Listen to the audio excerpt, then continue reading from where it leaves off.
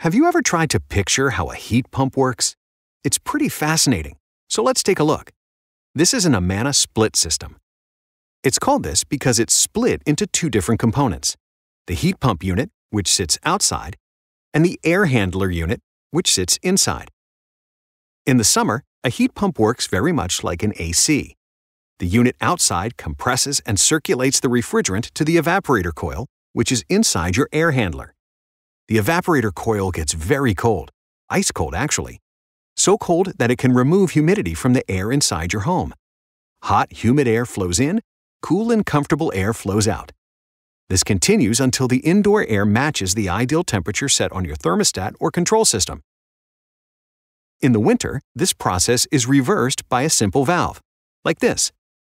Now the heat pump can create warmth inside your home, even on very cold days. You get the picture. To learn more, visit our website.